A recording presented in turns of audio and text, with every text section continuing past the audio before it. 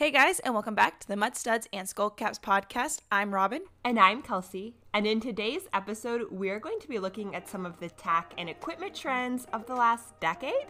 We're going to share why people love some of these trends and why they hate others.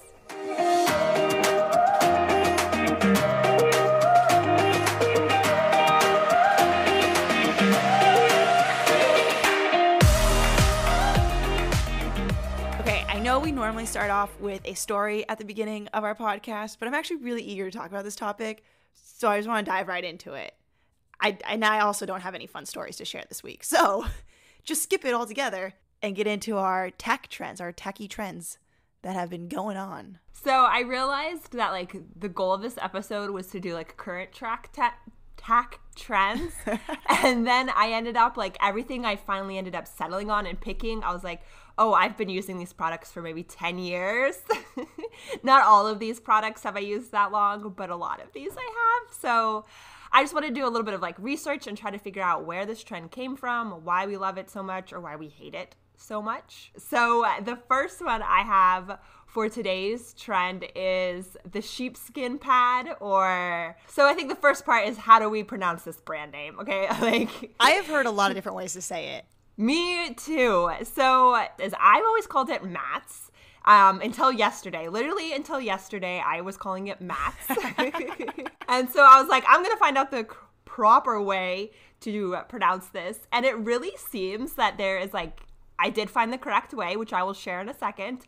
But um, there's a lot of different ways to pronounce this name. And it depends on the region you're in. Uh, but how do the original people intend for it to be said? So we'll get there. I just want to share some of the pronunciation options with you. Okay. Because I was very confused and it took me a long time, and I actually ended up on YouTube with a uh, pronunciation teacher to figure out how to say it. It's a dangerous game you play. Yes, I, I've got the correct pronunciation because I found, you know, it's a German company, so I had to go to language of origin and then find it that way. But so there's Mats, which is really common. There is Mates, which I haven't Ooh. heard that one, but you could like, so with an O instead of an A, Mates. There's also the fancy French version of mate, so we drop the S, but it is a German word, and so the proper way to say it is mates, like with an IS, so it's like a soft A, matis. Mattis. I think I actually heard it being called something like that. As of yesterday, I had been calling it Matt's pad, so sometimes I'll, if I say Matt's pad, or Mattis pad, I'm referring to the same thing. Now that I know the correct pronunciation, I'm gonna try to say it.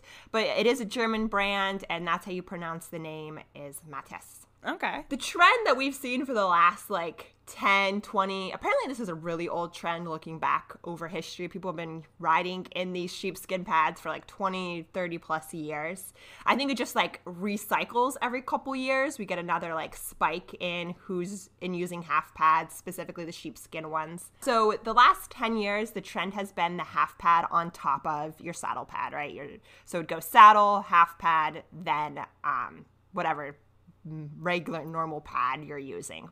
Today, the trend is starting to change more towards using those custom dressage saddle pads or like a custom full sized pad that you can get in any color you want. Mattes has a saddle make pad making website where you can like design the craziest pads you want with the piping color of sheepskin color of the pad. They look fun. Are you talking about the ones that are built into the normal saddle pads? Yeah, so it's like a full saddle pad. You wouldn't need a second saddle pad. It's more than a half pad. You can also get customized half pads, but the trend is really moving away from the half pads and into a full size either dressage or jump um, saddle pad. And this trend really like started the last time around it came from the equitation world for hunter jumpers and the trend was to put the half pad underneath the saddle because it was a pretty look Yeah. right? Hunters are really trendy people. Um, and then they're just like, they're, they're really trendy. And now we're going, No, they're very pretty. it does look nice and it actually looks complete or like finished. It just feels like a finished look. I don't know if that makes sense. That like, you put all your clothes on. As opposed to eventers who take all theirs off. it's like putting that finishing touch on the look on the look you know you put your ear bonnet on you put your half pad on it just makes the look complete it looks i don't know your horse just looks fully dressed the question i really wanted to answer with this trend is how are you supposed to use the half pad? Is it over or under your saddle pad? How are you supposed to use it? Isn't it like the dealer's choice? It's just uh, however you're winging it that day. I know the sheepskin, I think, is supposed to be in contact with the horse because it no, I don't know the logic behind it, but I've been told it's supposed to be in contact with the horse. However, if you're going to be using the half pad on multiple horses or multiple rides, it makes sense to have it on top of your saddle pad. That way it's not getting all crusty and gross and nasty. Okay, so I have been part of the over camp. That like that's how I use it, use the saddle pad is mine goes underneath my saddle and then I have a normal saddle pad between my horse and the sheepskin. And the reason I did this is like most of the time I'm using that saddle pad for support to I'm not really using it to change the fit of my saddle because my saddle fits my horse correctly. Usually using it to provide a little bit more like comfort to my horse um, and to like help disperse the pressures of my bony butt being in that saddle. Like I'm trying to make everyone a little bit more comfortable and I really haven't used it. Um, I stopped using them for a while because I had a saddle that fit my mare really well. And then I was noticing that she was just like a little bit grumpy when I went to get on. And she would just show little grumpy signs when I put the saddle on. So I switched and started using the, the Mattes pad again with her, which I actually had never used it before with her and then started using it with her and that little bit of grumpiness did go away. So i believe okay. even just by putting the pad on top of the saddle pad you're getting some benefits from it. The other thing um, is the concern with pressure points right? If you're putting it underneath another saddle pad it's going to be then pulling and creating pressure points on that sheepskin. So putting it on top reduces reduces those pressure points because I have seen, I don't know if you've seen them, but some people do put like the sheepskin on and then a dressage pad over it. And that one, I don't understand at all. That one baffles me. That one super baffles me. I have absolutely seen it and I don't know why people would do that. It just doesn't make any sense. But if you're using it on top of your regular saddle pad, think of that sheepskin pad or the Mattes pad as being more of a foam pad or a riser. You're losing most of the benefits of sheepskin. And that is why the undercamp exists. So I was right. I was onto something. Yes. So the design is actually so that it is supposed to be sheepskin on your horse's back. You're either using a full size pad with sheepskin or a half pad. I know using the half pad with no other pad is a little cringy, mostly because I just think about the flaps of my saddle. Like, I don't want my saddle flaps on my horse like that. And also, I know my saddle personally, the way the flaps are attached, I'm worried that that would cause. No, I guess it's not the flaps. I'm thinking of something else. Never mind. I think it'd be okay. What were you thinking of? I was thinking of it's underneath the, the um stirrup surcingle. You know how like that little loop. I was thinking that would be touching my horse. Oh yes, but it's not because there's another layer, so we'd be fine. And I have a synthetic saddle, so like I think I could do it because I don't have a leather saddle right now. I mean, I do. I just don't ride in them. So like I think with synthetic, you probably would be okay to do it. But the reasoning is that sheepskin actually really helps wick the sweat and it helps keep the horse's back really ventilated. So if you're cleaning these pads properly, rumor has it they're not going to get as dirty and smelly as you think because the horse just isn't going to sweat as much with the sheepskin touching their body because it is so much more breathable than any other product or saddle pad material you're going to be using. I call BS. There's no possible way. Like especially with humid humid condition. I I guess I'm gonna have to test this out actually to before I call BS. But like I'm thinking humidity here. Oh no, I absolutely agree with you that I don't think this is going to hold true in every climate. I think it would probably no. could hold true in my climate because we don't have the amount of humidity that you do. It's just like hot day, cold day. But yeah, the rumor. So I did. I scoured the discussion boards. I looked at different reviews. Like I wanted to figure out what people were saying, and every single time people said use it without another saddle pad. Let the sheepskin touch your horse, and if you are know how to take care of the pad, you're gonna be surprised it's not that dirty. Your horse is not gonna sweat as much as you think they are. It's gonna really help with that ventilation. You're, you're gonna be surprised. They, and there, this was a common trend. I didn't see anyone say, no, no, no, no, no, no, don't, don't, don't do this. You're going to regret it. Everyone seemed to be on board that you're going to do this and you're going to love it. And the rumor has it that as soon as you start riding in a sheepskin pad with no other pad, your horse will never let you switch back. that changes, it makes that much of a difference with your horse that they won't let you change back. And honestly, this makes some sense. There was a 2010 study that was conducted by several vets whose last names I cannot pronounce. Kashawar Balatsis and I'm gonna take your word for it. Pahem. I don't I can't pronounce their names. I will link we can provide a link in, to, to this study. But what they were looking at was the pressure distribution of different saddle pad materials at the walk and the trot. And what they found was reindeer fur was the best material that reindeer fur pads distributed the pressure the best on the horse's back compared to gel, foam, or leather pads. Who's gonna tell Santa? I'm right. hey, Rudolph, come here. no. So I think we can settle that sheepskin is a close second. That it's most similar to reindeer fur.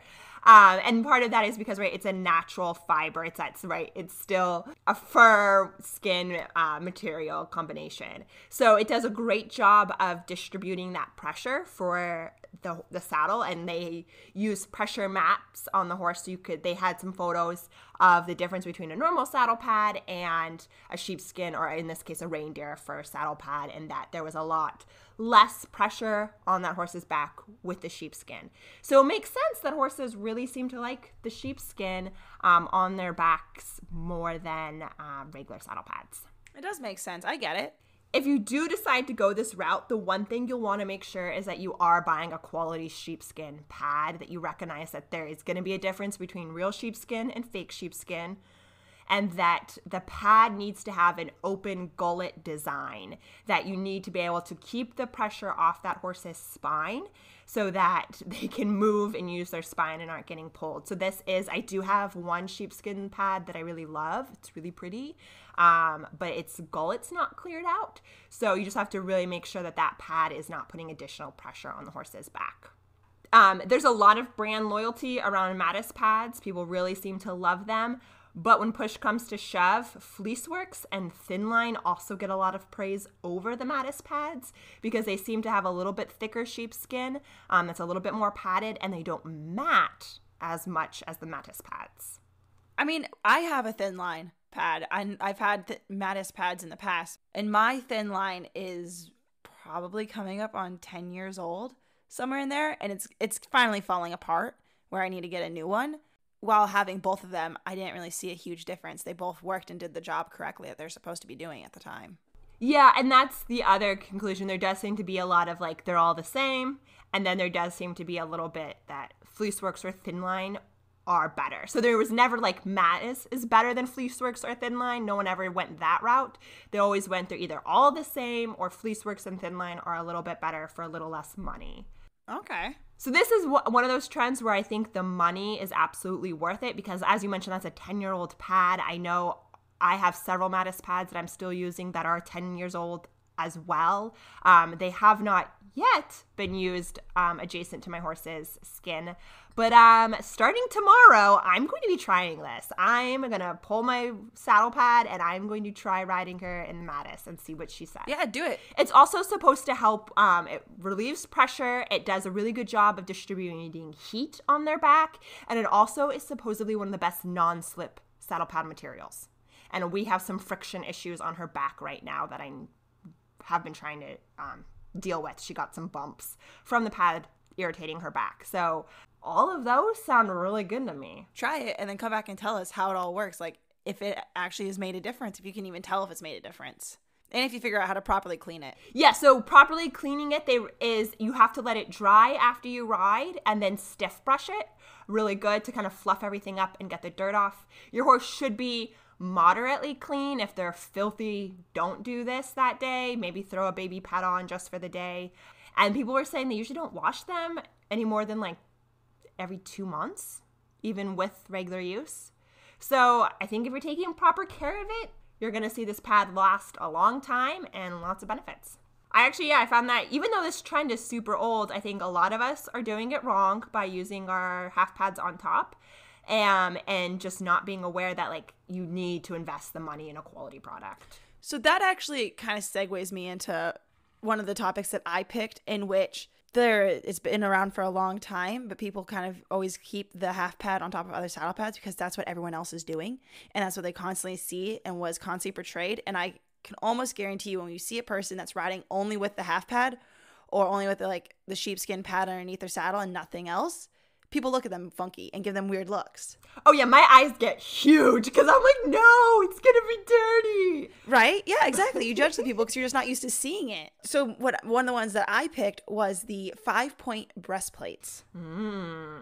And this is a trend that came around probably 15 years ago, in which there's always been your traditional hunt breastplates where you have the three point where it connects to your D rings and then you have a connection to the girth underneath the horse. Mm-hmm. And then five point breastplates really seemed just to all of a sudden sweep the market up in storm, where you saw absolutely everyone was using them, still are using them, and you see all these top level eventers that are, you know, are doing rigorous activities with their horses, big jumps, and all these people are using five point breastplates. And for the life of me, I could never figure out why. And I even jumped on the trend too because I everyone else was doing it and it looked pretty. They the five points are in so many different colors. They have the elastic straps to them. It makes sense. It has more points to connect to your saddle to stabilize it and hold it onto your horse. And I have had probably two, neither of which really worked on my horse. Turns out I was not adjusting them correctly. But I always noticed that my horse had a hard time like moving their shoulder with it, or not necessarily moving their shoulder, but they always kind of seem resistant to moving with it and they would commonly drop their knees or drop their shoulder when jumping. Looking into it to figure out why, and it's because of the way five point breastplates are designed to keep your saddle in place. So to start off, there's like several different kinds of breastplates. You have a polo breastplate, which is just a strap that goes around the front of their chest, and then it has a leather strap that goes over the neck and kind of closer to the withers to keep it at the right height. Typically, one loop on each side that attaches back to the girth, but it doesn't connect uh, in between the front legs to the girth. And then you have your hunting breastplate, which is your traditional three point, five point breastplate that we always see being used. The other one that you have is also a loop breastplate, which is kind of like the polo breastplate, but it just doesn't have the um uh, like a single strip of leather that loops around the front of the chest and connects to the girth. There's nothing holding it up, and it's kind of hit or miss with that one. I think those are more westerny though. Like I see a lot of western riders using that kind. Yeah, I see a lot more there, but fox hunting, jumpers, eventers, hunter jumpers, you see using the five point breastplates. And so the way the five point is designed to keep your saddle in place is with the forward motion of the shoulder. And if you think about how your five point breastplate sits across the horse's body, is that it sits against the shoulder. And so every time your horse takes a step forward, is it uses that action, or every time a horse jumps over the jump, is it uses that action to pull the saddle back up and into place.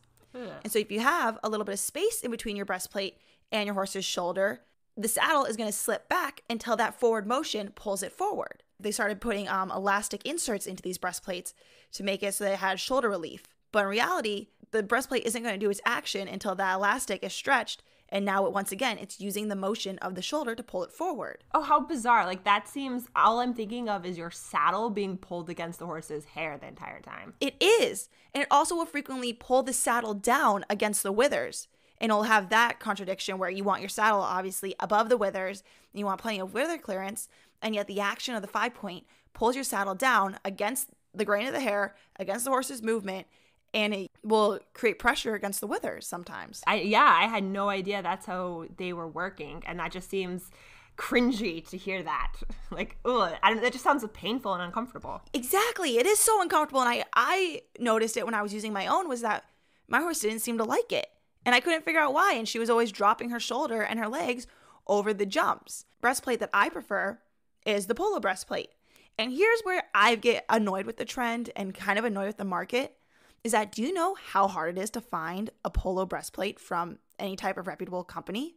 It is so freaking difficult and you're always limited in your options. Whereas go online and search up a five point breastplate and you can find it at so many different brands and places. You have all these different options. You can have it in black, Havana brown, light brown. You have so many different options. You can have pure leather, you can have sheepskin attached to it. You have mm-hmm. so many different options that it's so much easier to get a five point that you feel that you can adjust to your horse when in reality, you can't. Like it's just so much more difficult. And polo breastplates, they are there, but no one's really done any work to bring them along and improve them. They're just the same style that they've been for the last 20 years. Like the only way to find them is you have, I think there's like silver fox hunting or something.com and then state line tack sells them otherwise you can't find them anywhere else it's so difficult to find that style of breastplate Are these different than the? I'm trying to picture what a polo breastplate is because then when I just googled it, I'm getting the none finer ones, and didn't. We had one. Are you saying we've had two? Cirrus used to run in them, and Dublin ran in one for a while. Is that what you're Yes. talking about? Okay, I know that doesn't help the listener. no it doesn't help them at all i'll read a description to you um, polo breastplate this is the breastplate that comes perpendicular around the shoulder with a neck strap above and fastens with a loop around the girth does that help because that's the only description it has Um, yeah, I mean, yes, no, it helps. It helps. I understand which one we're talking about now. I just had to do a Google, a quick Google image. Because, yeah, you're right. There's not a ton. I remember we did a search a few weeks ago trying to find that one mysterious uh, breastplate that Yes. We saw in a clinic. And I found some kind of similar, but from companies I might never support. So, Exactly. It's so hard to find them. You even you're t- doing a Google search right now trying to find them, hardly any options. Like there's none of them out there, and all the ones that you find, they're not quite what you're looking for because they're the designs from 20 years ago because no one has done any improvements. Because the five point, everyone buys it, everyone wants that one, everyone's using it, so everyone keeps wanting to use it, and they're investing money and producing new versions of it and making it appear more friendly and more. I, don't know. They just it's so much. It's saturated the market with it. Well, this is something that, like, when I was doing and trying to look into some of these current trends and doing a little bit of research, and this really came um, up in the next item I'm going to talk about, there just is zero research into any of these products. Like, that's just not how the horse market works. Companies that design a product and then continue to redesign and redesign and redesign and never once stop to do any research to support their design. That it's No. so hard to find like good actual scientific papers that say yes this product's working or no this product doesn't work yet you hear all of these claims one way or the other and it's really really frustrating it bothers me so many times that I see all these products out in the market and you always see, oh, this new scientific design. But that scientific design is never really backed up by scientific research. no i it's really frustrating i, I definitely agree um, with that Yeah, and so I just want to really quickly explain how the polo breastplate works in that I think some might be a little bit hesitant to use it because the polo breastplate goes it's just essentially like a loop of leather that goes straight around their chest and connects back to the girth with another strap of leather that goes over the top of their neck, holding it at the right height. And the way it works is it directly opposes the action of the shoulder. And so it's not using the motion of the shoulder to pull the saddle back into place. It has a constant pressure against the horse's chest and is distributing that pressure across their chest to always keep the saddle where it is and it doesn't have to wait until the saddle slips back to start holding it into place. And so its function is not based off of the horse's movement, it's based off of the horse's body. I mean, no, that's actually how I thought all breast collars work, right? Is they just provide um, you know, at a certain point, adjusted correctly, it applies pressure to the chest, and the tack can't go any further back. It seems really strange that we thought that design wouldn't work anymore, and that we needed to change to this five point design. Well, I think the five point design became so popular because it has so many more um, points of connection, right? It Yeah. seems so much more sturdy because it connects in five places, five points. I also only realized today that's what the five point meant, so I apologize, folks.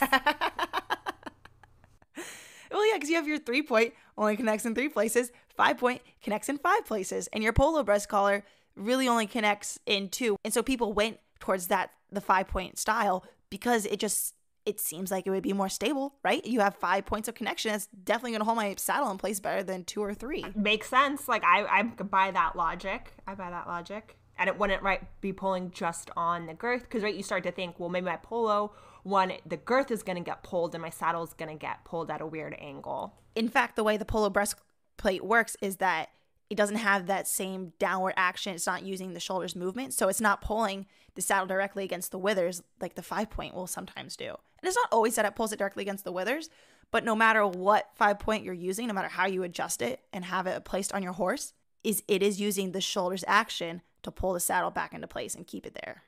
Sorry, I got really worked up about that one because that's a trend that I fell I fell to. I ate it up, believed it 100%, bought two, and was totally into it. And now, uh, going back, I kind of want to kick myself and be like, do more research before you fall into the tack trend. Yeah, that that's really interesting. I mean, and this brings us to my second item, which is girths. Ooh, okay. Uh, specifically, today I'm going to be talking about the total saddle fit girth. And this is one where people either love it or hate it. But guys, there's no research to support claims in either direction. like um, that this is where I found it so frustrating is people either love or hate this girth, right?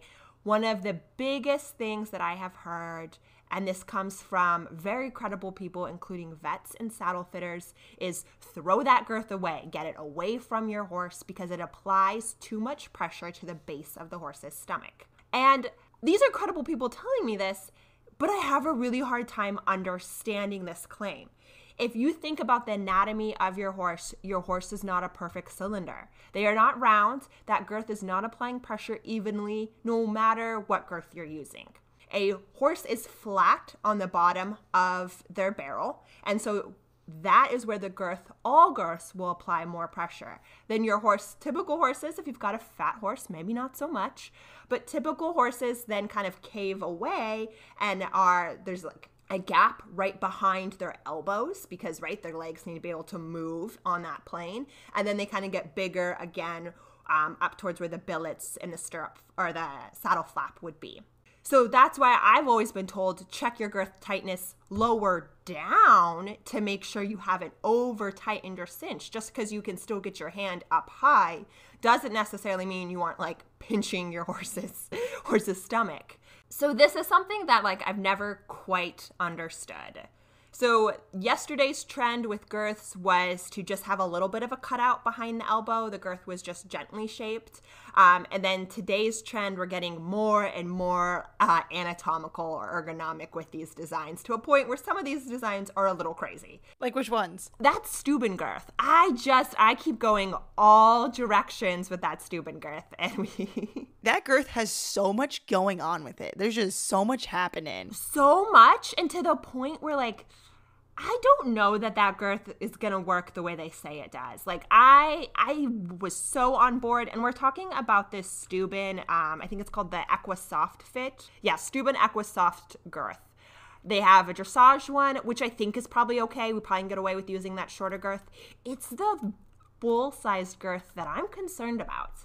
The main reason I'm actually concerned about that girth and why I think I actually won't buy it, even though I was super on board a minute ago, is because what's more comfortable, a wide belt or a narrow belt? Think about how pressure is pressure points work. If you have a very narrow area to disperse that pressure, it's going to be a lot more painful than if you have a wider area. So when I look at that Stübben girth and I look at it's applying all its pressure directly towards the chest, and then it has those straps going up to the billets. And I'm thinking those straps have to be applying pressure in a very concentrated area. Or am I crazy? No, I'm looking at it right now. I so I don't 100% mind the shorter dressage girth. I think it looks funky, Same. but I, I can I can see where they're coming from with it. But looking at the full size one, what are they doing? It's it's you know like they just extended a dressage saddle's billets out. And that's a big no no, guys. Like your dressage billets, your girth should only be like maybe three inches, three to four inches below your flap. You shouldn't be extending those billets down because that causes pressure. So while I initially loved that girth and thought it would be really cool to try, I'm gonna walk away from that one. I'm gonna pass on that one. Maybe the dressage girth, but not the full sized girth. No, I 100% agree. It's so I I wish I had the funds and the ability to buy so many of these products and just try them. Like going back to the all the different breastplates that they have out there, like I, there's so many they're coming out with now that they're trying to like mesh, you know, the five point with the polo breastplate and stuff. Like I want to buy them, I want to try all them, and I want to try all these different girths because there's so many girths out there. And I think this is one of those where the conclusion for this girth shouldn't be whether people love or hate it. It should be whether your horse loves or hates it. Because I think when we're talking about the total saddle fit girth, this is really going to depend um, on your horse's shape. Because you are going to find people whose horse's body shape probably doesn't work with this girth and they really hate it. And you're going to find people whose horse's body shape does work well with this girth and they like it. So the other concern I heard about um, or saw when it came to the total saddle fit girth was that the piece on the base of the chest, and this is where some of that um, concern about too much pressure on the horse's chest came from, was that the loop they're like right it's got like a swish in it and then that swish in the center wasn't making even contact and that only a small portion was making contact and then the curve was gapping this is not an issue i own this girth or i own the cinch version it's not an issue i have with my horse but it would again goes back to that pressure distribution if you've got just a thin line where that pressure is being brought across the chest yes that's going to be more painful than it being on a wider um, girth but this actually made me think, jumping all around on the girth conversation. You own one because I know I bought you one for Christmas. The over the breast, the really wide one. yes, the girth with the chest plate on it to protect you while you're galloping. I started to question that design because I know for sure those gap in the back and that those ones probably aren't putting pressure equally, are distributing it well on the base of the horse's um, barrel. You own it. What do you think? I have used it a few times. At first, it was kind of hard to get my horse used to it because it's just a big chunk of leather against her abdomen, and she was already not a huge fan of girths to begin with. So, trying to be like, no, no, no, trust me, more of it is better. I promise. Took a little bit of convincing. No, I just want to know how it worked on her. I'm curious how it fit. So there is gapping in the back. There is a little bit of gapping where it makes contact where like the first probably four inches of it mm-hmm. against her body. So probably the normal width of a girth, a traditional girth, is it makes contact, but then there's nothing else securing the back end of it. So there's a little bit of air. And so that pressure that we're thinking is being distributed, it isn't because there's nothing securing those like yeah. the bigger portions to it to her body. Do you find that she went the same in that one or that she went differently? Besides her being irritated. the first time we rode in it, she was lifting her core like no tomorrow. Oh, perfect. It was, it was wonderful. But now that she's gotten used to it, I can't really tell a difference. Okay, so she's adjusted to it then. Yeah, she's adjusted to it. Back to the total saddle fit girth. I originally purchased one for my horse Nim, and the reason being as he is he's stocky, but he's super short. He has a super short back. Um, his barrel is super condensed, and I ride him Western mostly, and my Western cinches were folding over right behind where the elbows would go because they would be so close. And the way a Western saddle fits, it fits a little bit different than an English saddle, where you actually do place it on the shoulder and so that cinch is a little bit closer to that elbow. And for him, it was bending. And I, there's no way that could be comfortable to have a cinch folded up um, and bent in your elbow. So I made the decision to go to the total saddle fit cinch. It seems to work perfect for him. I have no rubbing issues. There's no saddle sores. He doesn't seem to be bothered by it the way it you know sits and touches him i've checked the pressure it seems to distribute pressure fairly evenly um, across his barrel. So I I think it's a great a great cinch, um, and I'm going to continue to use it. But I'm also going to know that this isn't for all horses. Would you buy it as a regular girth for one of your other horses? Maybe. So I did find one study from 2013 which was conducted by several vets, um, which included Rachel Murray, Russell Guire, Mark Fisher, and Vanessa Fairfax. Um, and they put this is the only study, and they even claim it that put pressure mats underneath girths. So this is where I really have a hard time with people making this claim about total saddle fit girths is that no one's done the research to say this pressure is working the way you say it's working.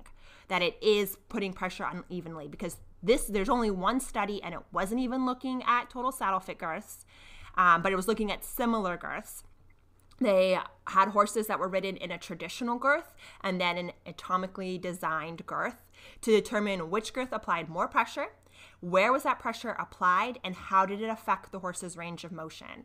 And in this study, they found that the traditional girth applied either 22 to 14%, depending on the side. This is a huge thing we got to work on, folks. The left side of the girth often applied more pressure than the right side of the girth because of how we tighten them and that they were applying 22 on the left side and 14% on the right side greater pressure than the anatomical girth and that the anatomical girth provided 6 to 11% greater forelimb mo- motion 10 to 20% greater highland hind limb motion and 4% greater flexion in the knee and 3% greater flexion in the hock. Okay.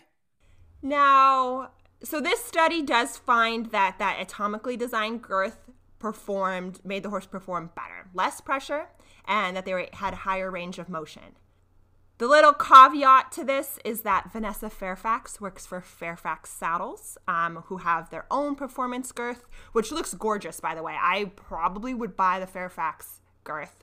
The study was published in veterinary journals. It was peer reviewed. This is a real study, but it was looking at the people who own the girth hired hired out the research, if that makes sense. No, that's actually going to tie into my next one whenever we move on to that one. But that's interesting. Fairfax comes up a bit in these anatomical discussions. So I don't know if that's good or bad, right? Like, is Fairfax the only one doing the research to prove their equipment works? Or is Fairfax, you know, do they have researchers in their pocket? I, I am gonna say they're the only company out there right now doing the research. I'm gonna you know give them the benefit of the doubt that no one else is doing this research, so they're they are and their products look pretty good. I'm gonna be honest.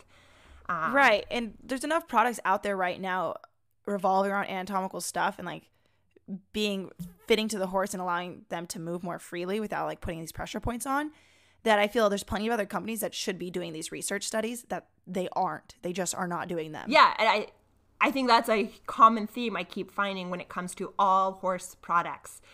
We are not doing the research to support any of these claims. I mean, this goes back no. back to our boot episode. We don't even know if boots work. Like we spend all this money on these products and we actually have no idea if they work or doing the job that we think they're doing. So it's just like super frustrating that companies continue to spend money on new and new designs. They charge an arm and a leg for these products, yet there's no research to back it up. No, I agree 100%. It's very frustrating. Uh, it's just so much, it just makes me think of all the things that I've purchased over the years, right? So much money that I've wasted purchasing products that now I'm thinking about I didn't fully understand what maybe their purpose was at first and how they worked. And now i'm looking at how they work and how they function they're not even doing that correctly. No i mean where companies are spending more money on marketing than they are on research. And at the end of the day they benefit from it and we lose. And our horses lose because we wasted so much money on products that aren't so much money aren't what they claim to be so I am going to, for this one, um, when it comes to the total saddle fit or that shoulder relief style girth, I'm going to continue to use them. I will probably at some point purchase a new girth for my other horse after I purchase her a brand new mat- Mattes pad. She'll probably get a new girth at some point, even though she gets ridden like, you know, once in a blue mo- moon. I want her to be super comfortable when those days happen. Do monitor your girth fit, do monitor your horse's response because every horse's body shape is different. So these girths might not fit your horse the same way they fit my horse. That carries over really well to what my next tack trend is, and that's anatomical bridles. Right? Mm, yes, yes. I own none. I own one, and I'm a little upset at the one that I purchased. Oh, um, no. So I think the very first anatomical bridle that we really saw that was getting pushed across the markets and that was just making appearance everywhere was the Micklem bridle. Mm-hmm in which they boasted about how the design of it was so it avoided the pressure points in sensitive nerves, facial nerves across the horse's face, as well as reducing pressure across the poll, which we all know is a pressure point. Mm-hmm. The one that came across the market that I bought was the Micklem bridle. And when I got it, it's not a super cheap bridle. I mean, granted, nothing with horses are cheap, but you know, I expected something out of it. And I have seen a slight improvement and slight difference with my horse with it. But the overall quality of the Micklem bridle and the leather quality, I'm a little disappointed in. Is it's it's a little cheap for the amount that you pay for it. Yeah, that's I, I'm shocked by that. I thought it would have been a really nice quality bridle. It's not, which is frustrating because that's the one that you get pushed on you and is the most affordable of them. Because now you have all these bigger brands and all these bigger names making them. You have PS of Sweden is, has their own, Stübben has their own. There's Stockholm. I think there's another brand called Schulm. Yeah. They have their own and our favorite friends of Fairfax saddles, they have their ah. own. And Fairfax, in this whole bridle industry with anatomical bridles, from what I could find, the only ones that have any research to back up their bridle. Not surprised. Not surprised, right? Isn't it's weird? I can't believe you mentioned Fairfax in the girth topics. I was like, oh my god, I just read about them. that that's funny. I mean, it's true. They're the only ones, and it makes me actually really want to support this company right now. it is, but I'm having a hard time. So there's a lot of thoughts I have on the bridle situation, in which I support anatomical bridles. I think based off of the some of the studies I've seen that just you just look up um, vet studies that just tell you about the horse's face and just their basic anatomy. yes. and that's kind of what I'm basing this off of. Is I'm Sure. putting together like my own ideas and everything. Is that if you go and look at the horse's anatomy and across their face, is they do have a lot of very sensitive structures. Their nose being one major, very sensitive and vulnerable place that we have to be very careful with our nose bands. What's in their nose is very soft and pliable and can be bent and broken and damaged incredibly easily. And then on top of that, we know that they have pressure points in their poll where your crown piece goes directly across. You know, against their mm-hmm. ears, they're very sensitive. They have a lot of nerves there, which crown pieces also put pressure against. And then across their face, obviously, anything directly against your bones is going to be a lot more sensitive than something that has a little bit of meat in between the pressure and the bone itself. And so, with all this put together, the anatomical bridles they make sense because they tend to have wider poll pieces or poll pieces. They tend to have wider crown pieces across the poll with cutouts around the ears that allow for free movement against the ears and minimal pinching there, which my mare had a huge issue with traditional bridles. And she really does appreciate having that cutout. I've seen a huge difference in her. She used to shake her head so much anytime, and I could always trace it back to that. She was getting pinched by the bridle in the, against the sensitive ear of her skin, or the sensitive skin against her ear. My gosh, I'm getting so caught up. And then there's also um, a lot of the anatomical bridles. They adjust where the cheek pieces are, so it avoids those cheekbones. Mm-hmm.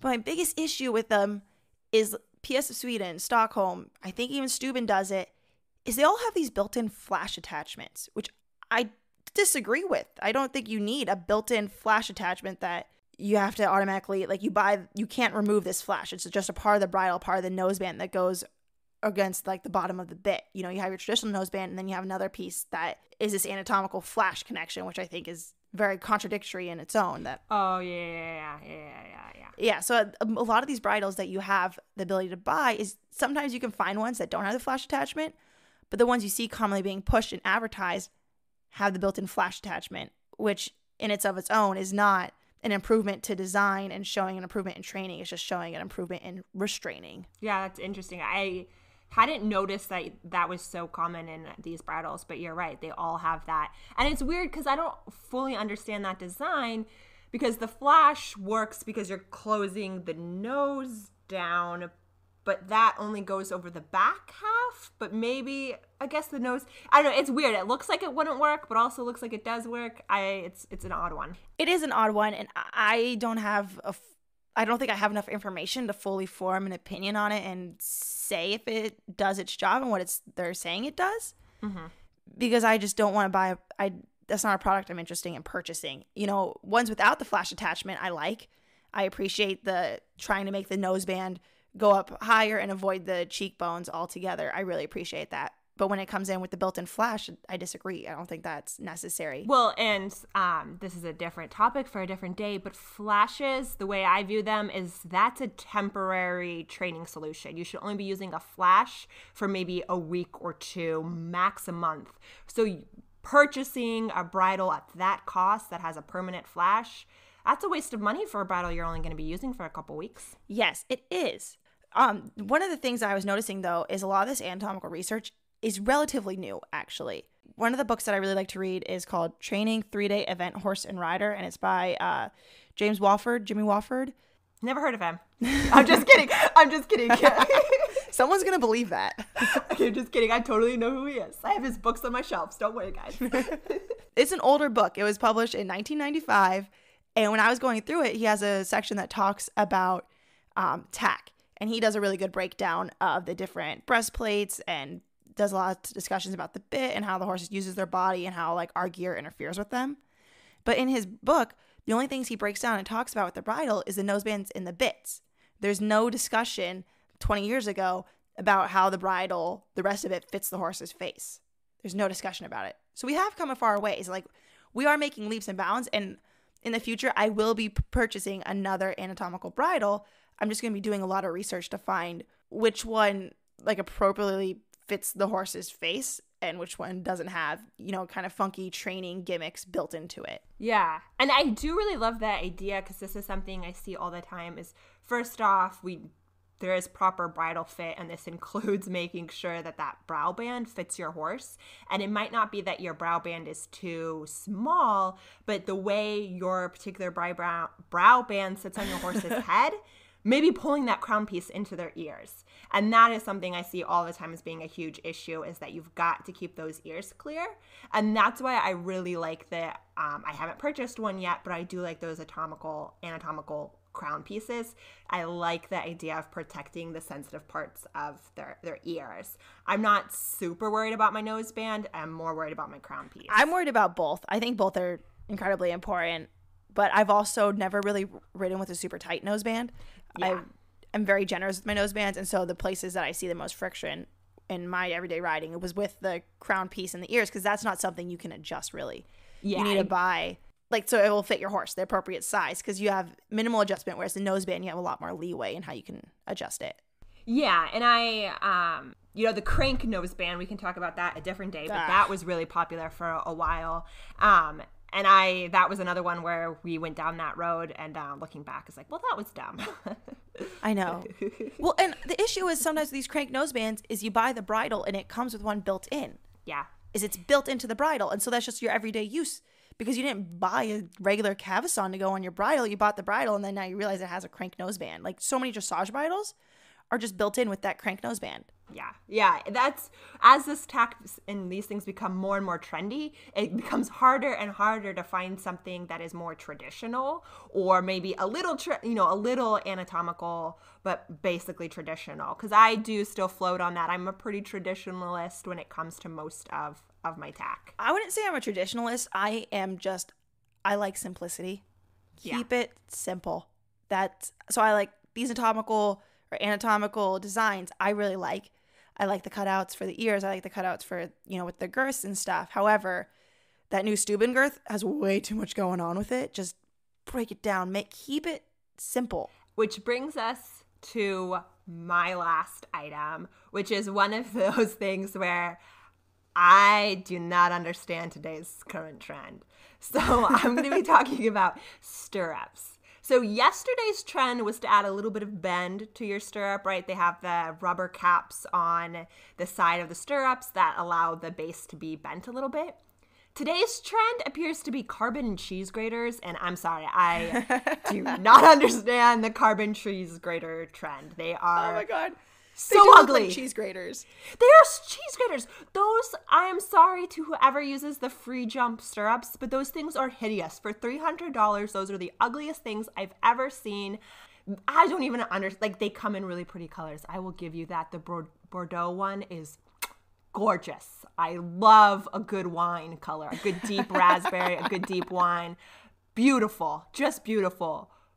But the rest of it, it uh, no, out the door. I'm sorry. Use They're so clunky. they're so clunky. I so I will admit that I will probably in the somewhat near future purchase a pair of carbon stirrups because I am interested in getting something wider and the ones I truly want are like $300 and are a little too weirdly designed because I do prefer the traditional shape. Um, I currently ride in the Herm Sprenger um, bendy stirrups, the original ones. These stirrups are like 10 years old but I I love them. I think they work great. However, I have to be really conscious of my position for them to work well. Oh, really? Yes. So these stirrups were designed as a way to reduce the strain on knees and ankle joints. Um, they are touted as a really good way to alleviate knee, hip, um, and ankle pain and encourage softness by reducing the impacts on your joints, your cartilage, and your ligaments. So we're seeing a lot of older riders choose to ride in these Herm Sprenger or just there's a thousand and one uh, bendy stirrups now available on the market but I do have the original Herm Sprenger ones, and I'm sure I'm pronouncing that wrong, and I somewhat apologize. Um, but so there, that's where these come from, is trying to reduce the amount of shock that that stirrup has some give to it. The problem with them is that if you have a really weak leg, or you're someone that really braces into your heel and in your joints, that stirrup is going to give you all the give in the world to let you drag your heels down as far as you want. And that I hate. I am very opposed, like, I hate the phrase heels down because I think it gets abused and misused constantly. Yes. Your heels, watch any dressage rider, any jumper rider, the majority of their ride, their heels are level to maybe two to three inches lower than the toe. I mean, not even three inches, like two inches lower. It's a slight, slight dip in the heel because, right, we don't want our toes to be the lowest thing. We don't want our stirrup to slide all the way back, get caught on your ankle. I understand the heels down concept, but heels down actually means loose ankles, is what you should be striving for is that you have the ability to flex your ankle. Like before a big jump you're going to see that your heels go way down for that moment and then they're going to soften back up over the jump and then you may go way down into them again as you land. But that comes from a soft joint soft hips soft knees soft ankles not from a heel shoved down. And that's where there's some confusion. And these stirrups the bendy stirrups if you don't already have a good lower leg, a soft lower leg, I'm not talking about a strong lower leg, but a soft lower leg and soft joints, these stirrups you're gonna find are gonna give you way too much give and you're gonna find yourself locking in your knees and your ankles. And that's where there also there's a lot of complaints from older riders with arthritis who originally bought these stirrups in order to, you know, because they believed they were going to be pain relieving, bought them and found out they were actually way more uncomfortable because they have weaker, um, stiffer legs to begin with. And they were able to basically just eh, push those stirrups to the edge of where they can bend and flex. Um, and that led to them being uncomfortable. And the issue wasn't so much the stirrup as it was their leg. Okay, that makes a lot of sense actually. I wonder if it affects also their stability and how stable they feel in the saddle. Yes, it does. That's a huge thing. People are complaining about their balance and their position when they're using these stirrups a ton. But most of those riders do admit to having knee issues or arthritis. So, as you and I, I totally agree with them. I, I would promote if you are a rider with knee issues or arthritis or any pain in the knees, ankles, I would promote using a stirrup with a wider tread something more traditional that's stiff, doesn't have the bend, and has that wider tread so that you can't tip your foot off the back. Um, because that's those traditional English stirrups, like the traditional Fillis irons, are fairly narrow, and you see a lot of riders just sort of tipping their feet off the back of them.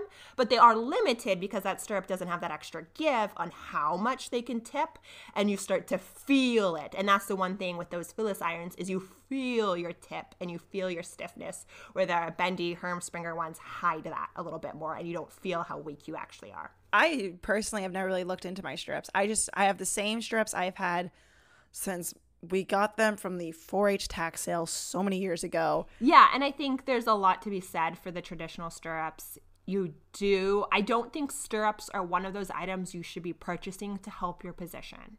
Um, you know, there's maybe some, like I said, I'm supportive of wider stirrups, but that's about it. Um, because I think stirrups is one of those areas where you need to be responsible for your own joints and not rely on a piece of equipment to make you softer. Yeah. I, you know, if you want to look at wide stirrup leathers to make your legs stronger, I think I'm support I'm supportive of that because strength and softness are two different things. Your tack cannot make you softer. Your tack can help you be stronger um, and have a stronger base of support. We can always be stronger, and if you can find equipment that helps you in that realm, I, I I'm supportive of that. Not that you don't have to have a strong lower leg because if you have a weak lower leg, those stirrups leathers are only going to help you so much. So one of the things I did find, I found a blog that for a girl. Um, this is called her blog is called No Bucking Way, which I think is cute. and she had recently purchased the um, a new pair of those free jump stirrups. And her conclusion was that so, what the stirrups claim is that they tell us that the center of gravity of these stirrups is set towards the front, which in turn encourages you to keep your heels down. And she loved this. She thought it was much easier to keep her heels down in these stirrups than she did in her springers, the ones I use. Um, and that the additional cheese grater grips really allowed her to get her heels down. And I hated this conclusion because, again, and that she posted pictures and the picture was only a moment. A picture in a moment can look so bad versus the next moment. Didn't love her heel position, to be honest. Um, I don't think, again, you should be using your stirrups so that you can hang off the back of them. I, that does not make sense to me. So I'm honestly going to uh, be avoiding free jump stirrups because I'm not spending that much money on something that ugly. That's pretty much the biggest conclusion. but I also I do not notice a difference when I switch between different stirrups. I do still ride in traditional Fillis irons without any bend in them, and I do not notice the difference between those and my Herm Sprengers because I have put so much effort into making sure I am soft and that that is like the first thing I work on when I get in the saddle is am I soft? Are my heels, you know, open and soft and absorbing? And so there's no, I don't feel a difference from one pair of stirrups to the other. No, I would agree. That's I like your conclusion. I appreciate it. Yeah, so I'm going to continue to use them. I'll probably use those ones forever. Um, I'm really sad that it, their wider ones are so expensive. They have these bow stirrups. Gosh, everything is just so expensive. It's so expensive. But then back to your point of then they add a half a dozen other items to it that I'm like, I'm not not here for the weird angle, the tip to the side. Like I just want a little bit of bend in my stirrup and a wider tread. That's all. You the only way you can get that is you have to get that with like the 20 add-ons that you didn't want. Exactly. Yeah, I just want like two additional things too.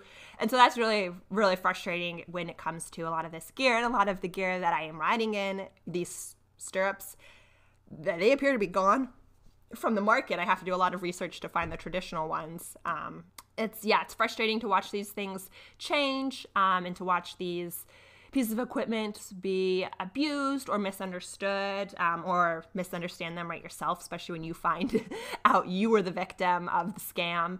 Um, that can be really frustrating. Oh, I know. Gosh. And I know there's probably going to be a dozen other of these tack trends that I'll probably end up falling victim to and being all for. And then I'll do a little bit more research and be like, oh, never mind. Take it back. My bad. And I mean, with a lot of these, though, sometimes you have to fall the victim. You have to get it home and try it because your horse is not built the same as everyone else's horse. I am a big proponent of know your horse. Horses are great communicators. They will tell you if something is working or not. You just have to be willing to listen um, and be willing to put in that extra effort because I think that's where a lot of us get hung up is we know, you know, it's not perfect, but I bought it, so I'm going to use it. You know, that may, as convenient as that is as an an- of an answer, it may not be the best answer for your, you and your horse. So you had a question you wanted to ask me. Yes. What is your So I've been back on the Facebook scrolling for memes because that's what I do when I'm uh, perhaps in work meetings. now that our meetings are all yeah on you know we're all on Zoom calls, I may or may not be scrolling Facebook.